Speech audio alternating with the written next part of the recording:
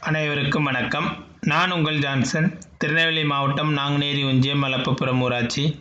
மக்கள் விழிப்புணர்வு மையத்தின் மாநில ஒருங்கிணைப்பாளர் பேசுகிறேன் இன்றைக்கி நம்ம என்ன பதிவு பார்க்க போகிறோன்னா மத்திய அரசின் தொலைத்தொடர்பு வலைதளத்தில் உங்களுடைய ஆதார் நம்பர் இல்லை உங்களுடைய மொபைல் நம்பர் ரெஃபரன்ஸை வச்சு இது வரைக்கும் எத்தனை சிம் வாங்கியிருக்காங்க?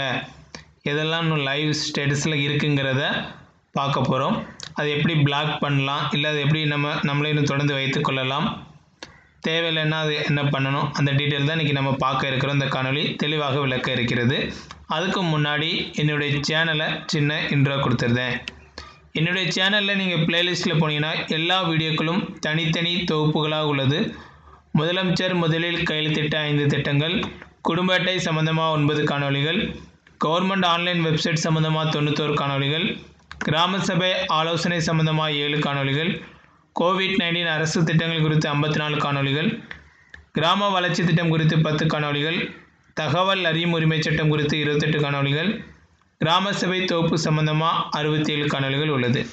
டைம் கிடைக்கும் போது பாருங்கள் பிடிச்சிருந்தால் லைக் பண்ணுங்கள் பயனுள்ளதாக இருந்தால் மற்றவங்களுக்கு ஷேர் பண்ணுங்கள் தொடர்ந்து என்னுடைய பதிவுகள் வரணும் மறக்காமல் சப்ஸ்கிரைப் பண்ணி பெல் பட்டனை ப்ரெஸ் பண்ணுங்கள் வாங்க வீடியோக்குள்ளே கண்டென்ட்டுக்குள்ளே போகலாம். டஃப்காஃப் அதாவது மத்திய அரசினுடைய டெலிகம்யூனிகேஷனுடைய வெப்சைட் தான் டஃப்காப் DG telecom government dot in இந்த வெப்சைட்டோட லிங்க் வந்து என்னுடைய வீடியோவில் டிஸ்கிரிப்ஷனில் இருக்கும். நீங்கள் இப்போ எந்த மொபைல் நம்பர் யூஸ் பண்ணுறீங்களோ அந்த மொபைல் நம்பரை இதில் டைப் பண்ணுங்கள் டைப் பண்ணிவிட்டு ரெக்யூஸ்ட் ஓடிபி கிளிக் பண்ணுங்கள் உங்களுடைய மொபைல் நம்பருக்கு ஓடிபி சென்ட் பண்ணுவாங்க. ஓடிபி எனக்கு வந்துருச்சு அதை அதில் டைப் பண்ணுறேன்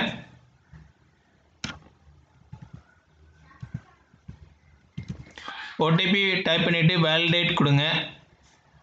ஓகே என்னுடைய நான் இப்போ அதில் டைப் பண்ண மொபைல் நம்பர் ரெஃபரன்ஸை வச்சு இரண்டு சிம் வாங்கியிருக்கு.